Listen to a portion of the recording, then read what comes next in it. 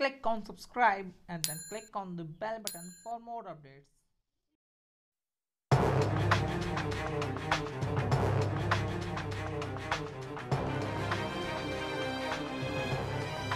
बीस जवान हुए शहीद। पीएम मोदी करेंगे आज शाम चार बजे देश को संबोधित। एक और पूर्वी लद्दाख में एलएसी पर भारत चीन गतिरोध बना हुआ है। वहीं देश कोरोना से भी लड़ रहा है।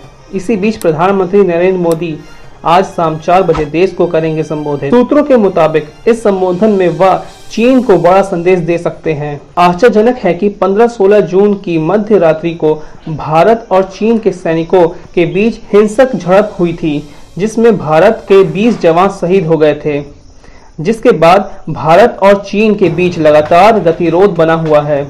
हालाँकि कूटनीतिक स्तर पर और सैन्य स्तर पर वार्ता जारी है। बता दें कि चीन के साथ गलवान घाटी में वास्तविक नियंत्रण रेखा पर चल रहे गतिरोध पर प्रधानमंत्री नरेंद्र मोदी ने रविवार को मन की बात में कहा कि भारत मित्रता निभाना भी जानता है, लेकिन यदि कोई उसकी भूमि पर आँख उठाकर देखता है तो इसका उच्च जवाब देना भी जानता है। आकाशवाणी पर मासिक रेडियो कार्यक्रम मन की बात टू की तेरहवीं कड़ी में प्रधानमंत्री ने गलवान घाटी में शहीद हुए भारतीय सपूतों को याद करते हुए देश को आश्वस्त किया कि उनका बलिदान व्यर्थ नहीं जाएगा।